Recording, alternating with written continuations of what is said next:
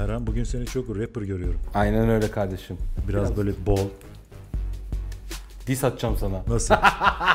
bir atsana bana. Oğlum bizim zamanımızın rapçileri arkadan yandan dönen yaralar karalar. O kadar. Evet hacı bugün yine bir ayıbımızı kapatıyoruz. Kanalda 35 video mu ne oldu? Bir tane Audi videosu yok. Yok artık. Ayıp yani. Vallahi mi ya? Evet. Temizliğe temizliğe gideceğiz. Erhan'cığım yapmamamız ayıp. Hazır mısın? Hazırım. Sen hazır mısın lan? Hazırım. O zaman devam.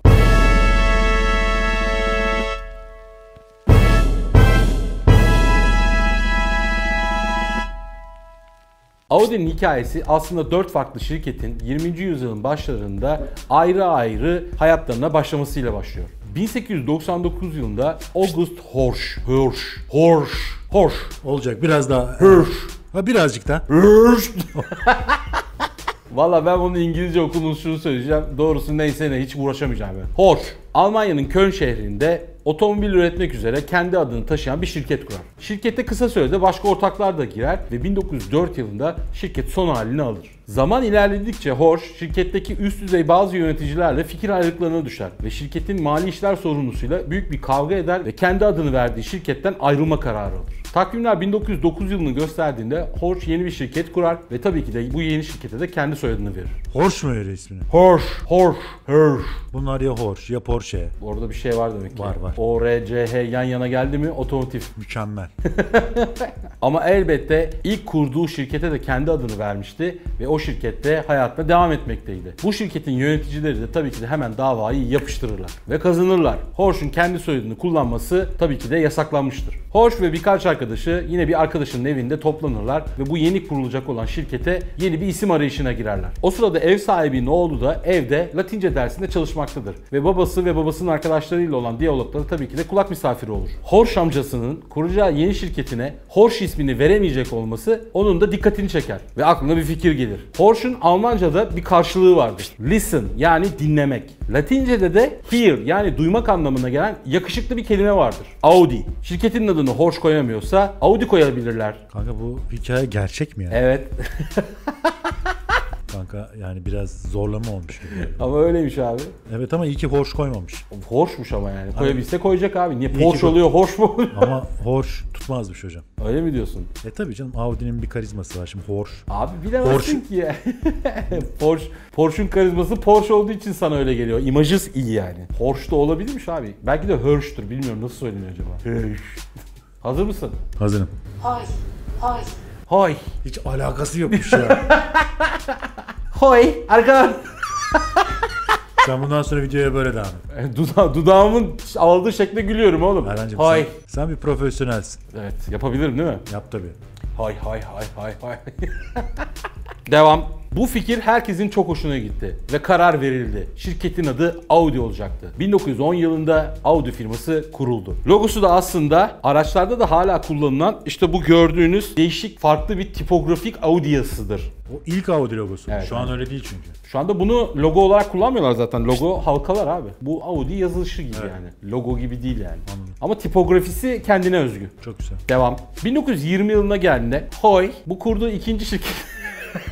Devam. 1920 yılına gelindiğinde de Hoy bu kurduğu ikinci şirketten de ayrıldı. Bu sefer Almanya Ulaştırma Bakanlığı'nda bir görev için ayrılmıştı şirketten. Şirketin yönetim kurulundaki görevine devam etti ama yönetimsel bir rol hiçbir zaman üstlenmedi. Takvimler 1928'e geldiğinde de Almanya'da DKW adında dünyanın o dönem en büyük motosiklet üreticisi olan bir firma vardı. Dünyanın en büyük motosiklet üreticisiydi ama işler onun için iyi gitmiyordu. Çünkü şirketin üretiminin merkezinde buhar gücüyle çalışan motorları üretmek vardı. Ve tabii ki de motosiklet de üretiyorlardı. Ama yüzyılın başında gerçekleşen bu otomobil devrimiyle birlikte motosikletlere olan ilgi azalmaya başlamıştı ve insanlar daha fazla otomobil istiyordu. DKW firması da hemen piyasaya çıktı ve satın almak için uygun bir firma aramaya başladı. Ve tabii ki de hemen Audi gözlerine kestirdiler. Çoğunluk hisseyi satın aldılar ve kendi bünyelerine kattılar. Duydun mu hoca DKW? Erhan'cığım bildiğim kadarıyla bir modelini Harley Davidson'a veriyor bu. Vay. Tabii Harley Davidson Hummer diye bir modeli var. Evet. O aslında DKW'nun. Vay yani Harley Davidson'a teknoloji satıyor aslında. Yani teknoloji değil de işte bir tasarım satıyor diyebiliriz. Anladım. Ama büyük bir şey yani. Tabii Demek canım, ki. Harley Davidson'dan daha ileride. Ya Onu o- o zamanlar O öyleymiş, evet. Zaten en büyüğü diyorlar yani. Ben hiç duymamıştım yani. Devam. Takvimler 1932 yılını gösterdiğinde DKW, Audi, Hoyin, Hoyin, Hor. Horch. Horch diyeceğim ya. Horch'un ilk kurduğu şirket Horch ve başka bir Alman otomotiv üreticisi Wanderer. Bunlar hep İngilizce Wanderer söylüyoruz ama olmaz. kim bilir. Erhan'cığım Wanderer. Lütfen. Tamam abi ben kelle paça demeden giriyorum abi. Horch Wanderer'la birleşir. Bu kadar abi yeter. Devam. Bu yeni şirketin adı Auto Union'dır. Auto Union aslında bugün bizim alışık olduğumuz bu grup şirketler yapısına benzer bir yapıdır. Yani markalar aslında ölmüyor. 4 marka da hayatına devam ediyor. Ama satış kanalları, arge merkezi, ortak üretim gibi konularda bir sinerji yaratılıyor ve karlar maksimize ediliyor. Bu yeni yapının da elbette yeni bir logoya ihtiyacı vardı ve bu birlikteliği temsil etmesi için iç içe geçmiş 4 tane halka logosu o dönemde üretildi. Alfabetik sırayla da birinci halka Audi'yi, ikinci halka DKW, üçüncü halka Horch'u, dördüncü halka da Wanderer'ı temsil eder. Ve 1933 yılına geldik. 1933 yılında da mevcut Alman hükümeti yani Nasyonel Sosyalist Alman İşçi Partisi yani ne demek? Nazi. Aynen öyle ama Nasıl? o şeyini de evet fark ettim. Nazi. Nazi! Devam. İki tane önemli program açıkladılar. Bu programlardan birincisi Almanya'nın dört bir tarafını ördükleri otoban ağında bütün Alman ailelerinin kullanabileceği ucuz, erişilebilir, ekonomik ve dört kişilik bir ailenin de sığabileceği bir halkın arabası üretilmesi. Erhan'cığım sen hiç Almanya'ya gittin mi? Gittim. Otobana çıktın mı? Çıktım. Yani anlattıkları gibi mi gerçekten? Evet. Ben en son Need Ama bütün otobanlar değil. Bazı yerleri öyle yani. Ha. Bütün baştan sona her otobanda öyle bir durum yok yani. Orada da zaten öyle uyarılar var. Speed limit kalktı gibisinden şeyler var yani. Speed limit yoktur gibisinden. Onu gördüğünde kökleyebiliyorsun. Öyle bütün otobanlarda her yerde şeydir gibi bir dünya yok yani. bir gün inşallah gideriz beraber. Ama yardırıyorlar abi doğru yani. Hakikaten yardırıyorlar. Ama kimse tehlikeli kullanmıyor. Yani yardırırken makas atmak gibi bir şey yok. Yardırıyorlar. Sol şeritteysen Yapıştır. yapıştır. Yapıştır. Devam. İkincisi de motor sporlarında bu Alman üstünlüğünü vurgulayabilecekleri, Alman mühendisliğinin geldiği noktayı temsil edebilecek bir motor sporları takımı. Aslında hükümet tarafından bu vizyon verilmeden önce Almanya'nın dünya çapında motor sporlarında çok başarılı bir markası vardı. Mercedes. Mercedes doğal olarak hükümetin bu cömert desteğinden yararlanacağını düşündü. Aslında aldılar da. Ama Ferdinand Porsche'nin Hitler'le olan ilişkisi ve onu ikna etmesinin sonucunda bu söz konusu devlet desteği ikiye bölündü ve iki markaya eşit olarak verildi. Birincisi Mercedes, ikincisi de Auto Union ve o meşhur Silver Arrow yani gümüş şok dönemi başladı. Evet yanlış duymadınız. Silver Arrow Mercedes'e özgü bir lakap değildir. Alman spor arabalarına özgü bir lakaptır ve bu arabalara Audi'ler de dahildir. Daha önceki videolarda da bahsetmiştim. O dönemlerde yarış otomobilleri belirli renklere boyanıyordu. Bu renkler de yarışan otomobilin orijini yani bağlı olduğu ülkeye göre değişiyordu. İtalyanlar tabii ki de kırmızı araçlarla yarışıyordu. İngilizler o meşhur Racing Green yani yeşil rengi kullanıyorlardı. Fransızların rengi maviydi ve Almanlar başlarda beyaz otomobillerle yarışıyordu. Sonradan gümüş otomobillere geçtiler. Gümüş gris otomobillere geçtiler ve onların lakabı da bu yüzden Silver Arrow yani gümüş ok diye kaldı. Gümüş oklar aslında diğer ülkelerle yarışması için finanse edilen bir projeydi. Ama Mercedes kendilerine haksızlık yapıldığını düşündükleri için bu rekabeti diğer ülkelerden çok Auto Union'la yapmıştır. Aynı ülkenin iki temsilcisi arasındaki bu rekabet aslında Almanya'ya yaramıştır. Çünkü Silver Arrow'lar dönemine resmen damga vurmuştur. Mercedes'in 648 beygirlik 750 kilogramlık W125 modeli ile Auto Union'ın 3 litre V12'ye sahip 550 beygirlik Type C'si her türlü yarışa girdi. Grand Prix'lerden tırmanma yarışlarına kadar her alanda kıyasaya yarıştılar. Pistlerde 320 km gibi inanılmaz hızlara ulaştılar. Kara hız rekoru denemeleri yaptılar ve 400 km bariyerini geçtiler.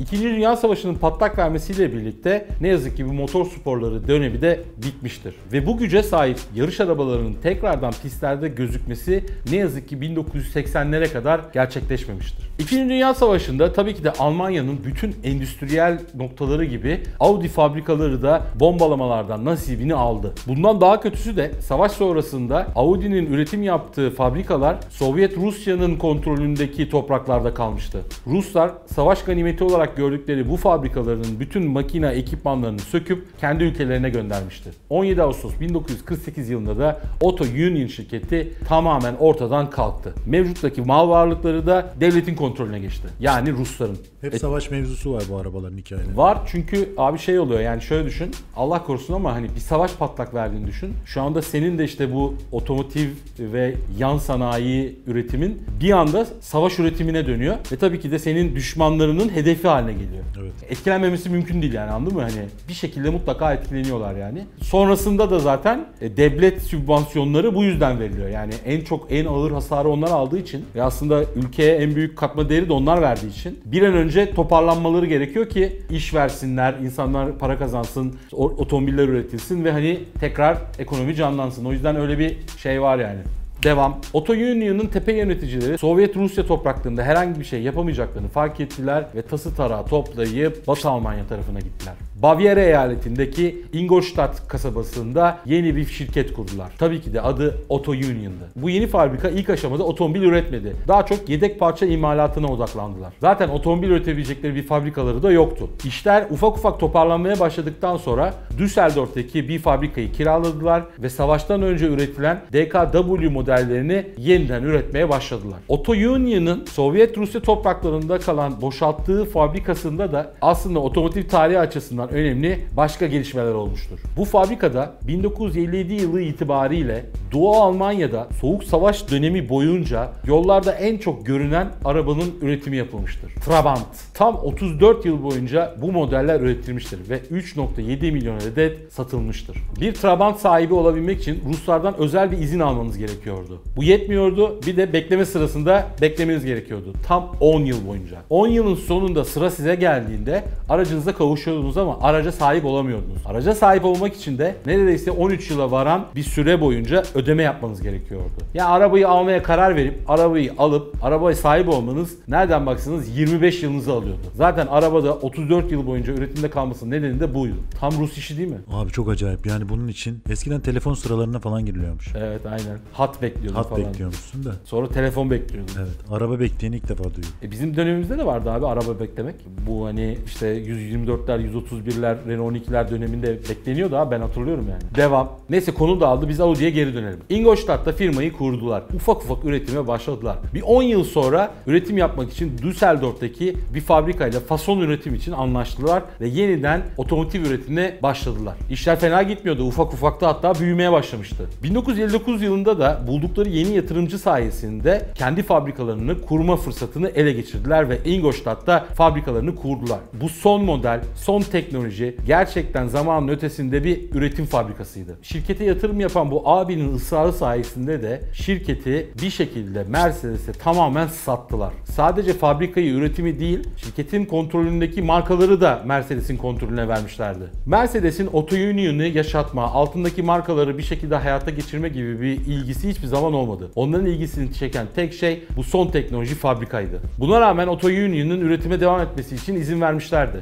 Birkaç yıl şirketin performansını gözlemlediler ama ne ürettikleri araçlar Mercedes'in ilgi alanına giriyordu ne de ortaya çıkan durum onları tatmin ediyordu ve birkaç yıl sonra 1965 yılında şirketin tamamını Volkswagen'e sattılar. Auto Union var, DKW var, Hoy ya da Horch. Neyse işte o var, Wanderer var, Var mıdır? Werder Wanderer var mıdır? Vardır.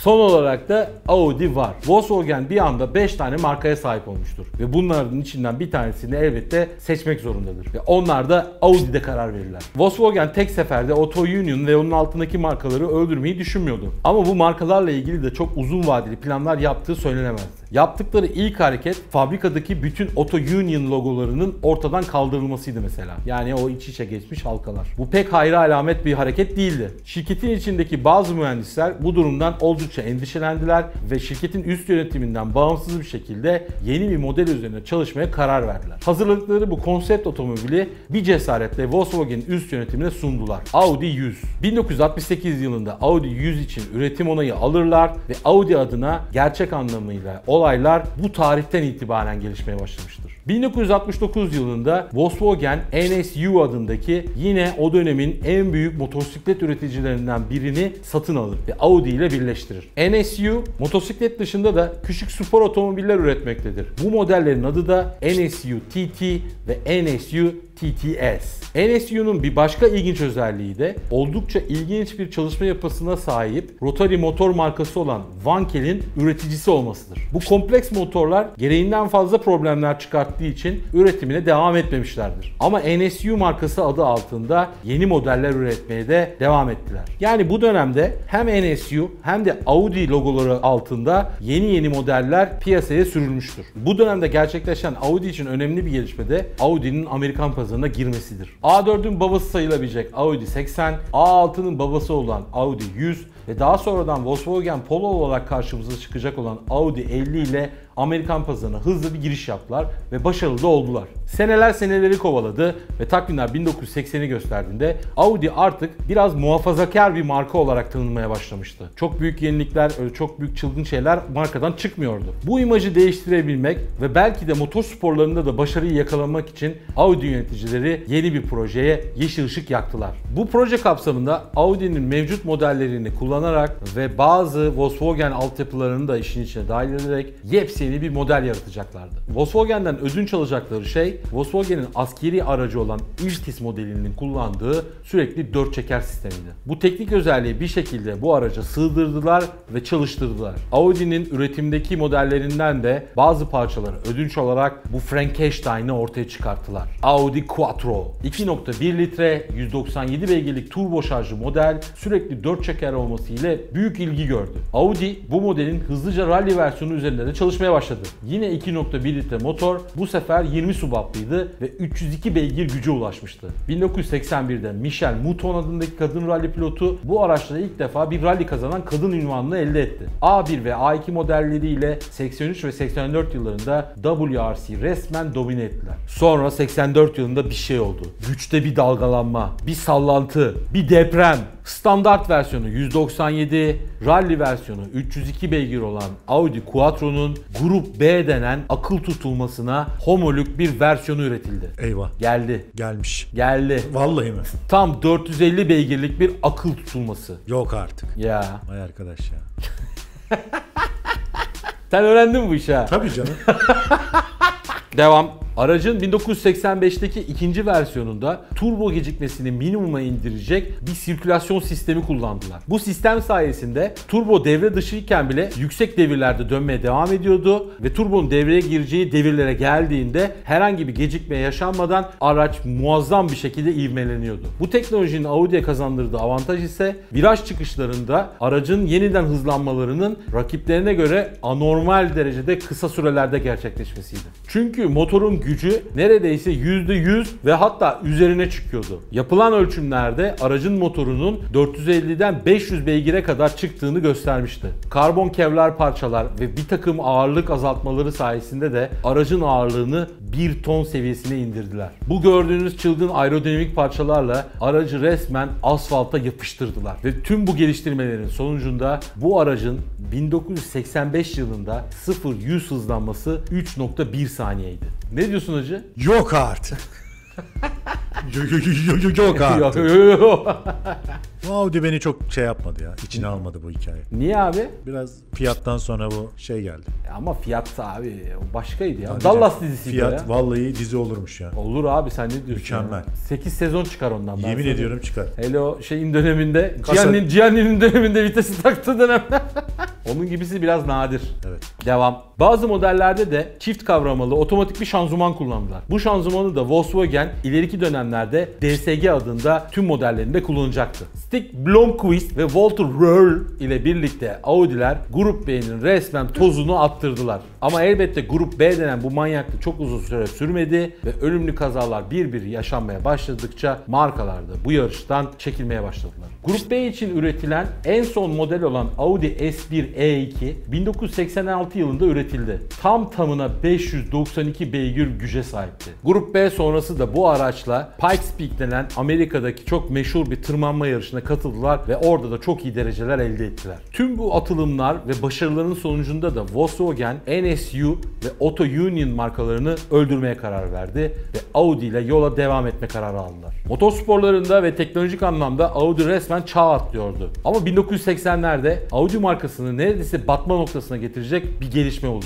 Amerika'da satışta olan Audi 5000 modellerinde nedeni açıklanamayan ve ölümlü kazalara neden olan kendi kendine hızlanma problemi baş gösterdi. 6 kişinin hayatını kaybettiği ve toplamda 700 tane kazanın rapor edildiği bu olaylar sonucunda Amerika'da Audi'ler resmen istenmeyen marka ilan edildi. Ama Eren'cim bence çok haklılarmış ya. Aynen ama nedeni farklı abi. Baktığında kabul edilemez bir şey gibi gözüküyor.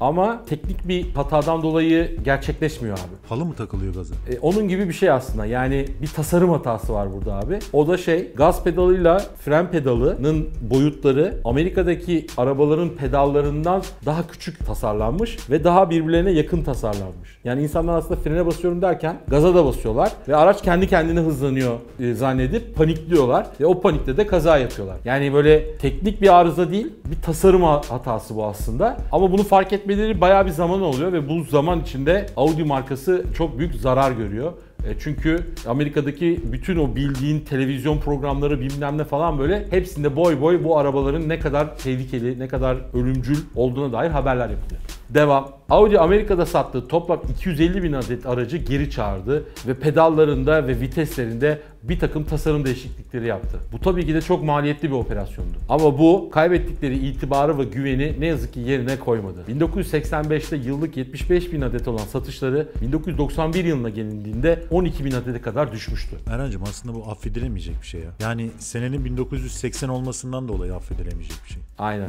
Devam. Audi 90'larda bu erozyona uğrayan güvenini ve itibarını yerine koyabilmek için yeni projelere yeşil ışık yaktı. 1991'de Audi 100 C4 modelini baz alarak daha performanslı bir model ürettiler ve adını Audi 100 S4 Quattro koydular. 227 beygirlik bir Alman sedan otomobili. 1991 için oldukça radikal bir hareketti. O dönem bu modelin tek rakibi BMW'nin yeni oyuncağı E30 M3'tü. Ama bu araç E30'dan daha güçlüydü. BMW M3'ler 192 beygirdi. Bu tabii ki de kabul edilemez bir durumdu ve BMW hemen kolları sıvadı ve yeni BMW M3 üzerinde çalıştı. E36 kodlu yeni BMW M3'lerde 4 silindirli değil 6 silindirli bir motora geçildi ve toplam gücü 286 beygire kadar çıktı. Audi de buna karşılık olarak S4 Plus adında bir model çıkarttı ve 8 silindirli motora geçti. Onlar da gücü 276 beygire kadar çıkarttılar. 90'ların başında yaşanan bu çekişme sayesinde Volkswagen bir anda kendini